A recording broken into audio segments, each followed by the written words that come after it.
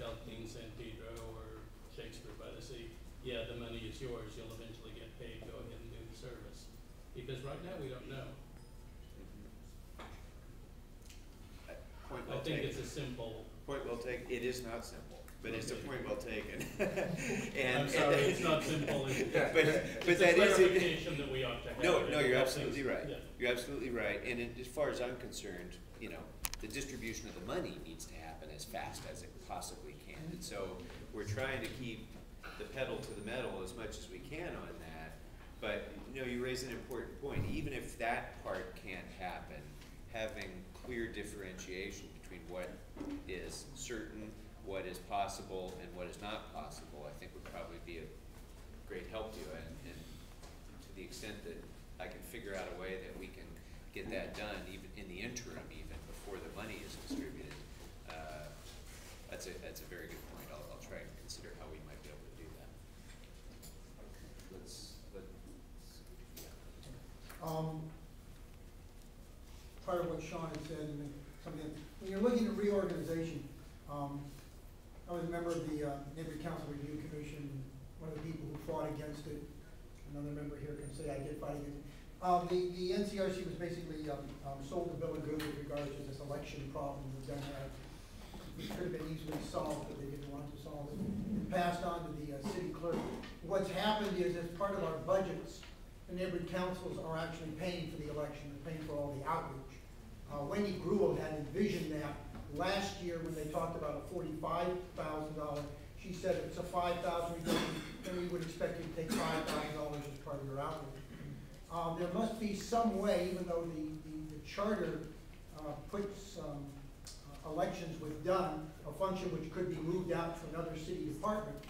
Um, but somehow, if we can get outsourcing, there should be an ability for what's left of DONE to do an RFP with whomever, to include elections. Yeah, That is a, that, that- number one, that would be a money saving, and number two, it would give neighborhood councils more control and more participation over their own, uh, um, lifestyle. And as an aside, thank you for recognizing that the city attorney is a risk aversion Oh, organization. I mean, that took me five minutes to figure that out. Uh, but thank you, Lynn. In fact, the, the, the election part, I, I'm glad you raised that, because that, uh, I forgot to mention that. And frankly, you know, it's a kind of, it's a good, ex- it was a good example to me of, you know, what's wrong with our policymaking in the city. Because here you had a situation where the council decides, um, well, you know, these neighborhood council elections, let's move them over to the professional operator of elections, the city clerks, Just as, just as a matter of history, yeah, that was a neighborhood council review commission recommendation to the city council. It was an official recommendation, Yeah. but most of the people there were sold the bill of goods, and a lot of them didn't understand what was wrong with that idea. But regardless, fifteen council members said, let's do this, let's move it over to the clerk's office.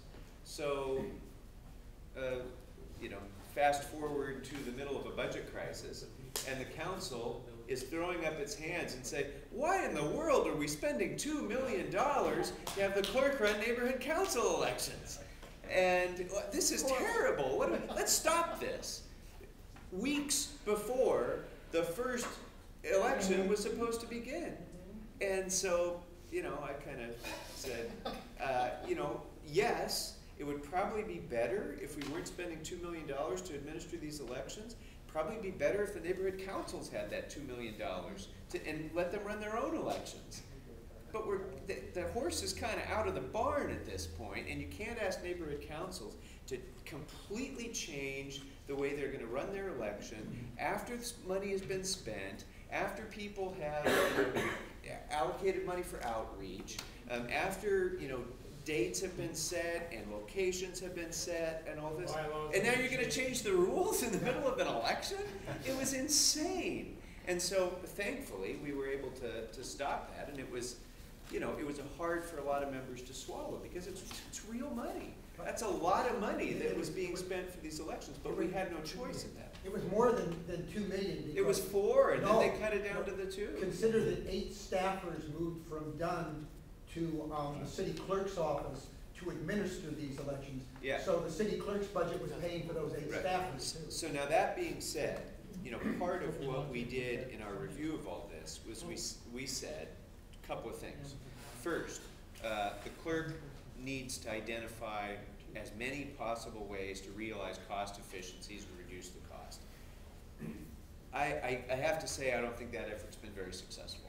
Um, you know, I, I think she's tried. I really think they've made an effort, but it's a different way of thinking. Uh, you know, she's used to running big elections and, you know, they want to do it very officially and fairly and formally and, and so in that world, in that universe, it's hard to find cost efficiencies if you accept that as your, as your premise, you know. So she, so that effort hasn't been too successful. So we've kind of pressed, okay, we'll get more volunteer support. And again, she's tried, um, it, with limited, limited success, I think. There just hasn't been as much There's, involvement there's as, some, as there's some restriction reasons because of it. um, the third thing that, that we, we did in that was to say, we want periodic reports from the clerk as to how it's going. And then at the end of this election cycle, we're gonna do an, sort of an after-action report that says, okay, what's the best policy moving forward from now? I can guarantee you, it's not gonna be status quo. Um, it will be something, and, and, and I, I don't wanna prejudge before I get the results back of how these elections went.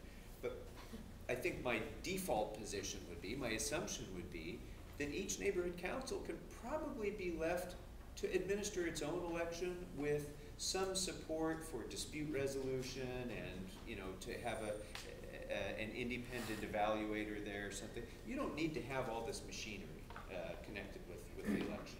Um, but I don't know, I'm reserving judgment on that until A, we get the report back from the clerk about how these elections went, and B, I get broad input from the neighborhood councils themselves Yeah, about so what they, that's what we what they actually want did. to have. Yeah. gave it until done. Yeah, the sec, the second's gonna be important, because Yeah. I've listened to the rosy reports of the clerk's office so far. Yeah, no, I, I, I don't, I, I, I think she'd just as soon hand it over at this point, sir. Uh, M- Mr. Councilman, um, we miss you at Griffith Park uh, Neighborhood Council, you used to represent. Thank you. We had one doozy of an election last Saturday, we had fifteen hundred and, uh. You had 16 fifteen voters. hundred people turn out? Yes, unfortunately, they were not all stakeholders. We had a slate of people that were very well financed that brought in, uh, we believe that they're kind of anti, um, the spirit of neighborhood councils. That's why the, a couple of people from previous years have, have grown on and and swept out the status quo. Um, But what I wanted to ask you about is the root of part of their gripe. The neighborhood councils, a lot of us believe, is about reaching out, about empowering.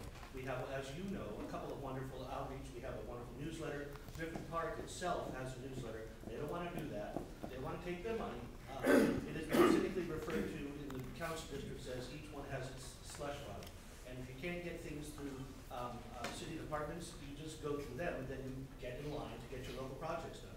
They want the neighborhood councils to be that too. They want the money, um, to come to their pet projects. They don't wanna waste it on, on reaching out to people. They want to go to the schools or whatever other, um, departments are, um, uh, are, are in needing funds and act as an extended PTA. We believe that's really important, and this is, this goes to the, the idea of independence of the neighborhood council, or whatever, I call it the bone, the Bureau of Neighborhood Empowerment. Um, that, that's maintained, that, that uh, continuity and that, uh, uh, advocacy, um, um, is, is independent, because we're not just there to, to have our own little bucket of money dole out. We're to be a part of the government, that's why, as you, uh, uh, perfectly pointed out, uh, we were, uh, uh, founded. So I guess, um, my question is, do you have any, this, and I just want to share my input as well, because it's, it's, um, if, if we were being attacked from, um, from above, whether it be under CDs, whether it be under departments that, don't want us, us medicine, we've had that before. We wonder how much are we being, uh, manipulated by people who don't want, want us because it's being attacked from within as well. Boy, I really appreciate that that comment because it kind of goes to the heart of what we have to collectively decide